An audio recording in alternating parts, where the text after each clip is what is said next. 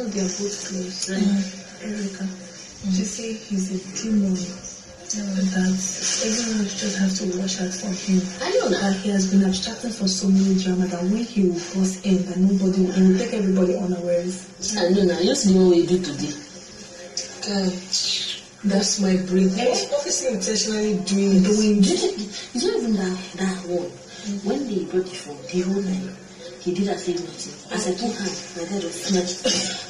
I was like, when I read it, She I said, said, no, no, she no, said, him and Nagosi, she be not there. she said from tomorrow she's gonna start giving because she feels he will start giving her attitude first. Mm. That she will choose to surprise him tomorrow.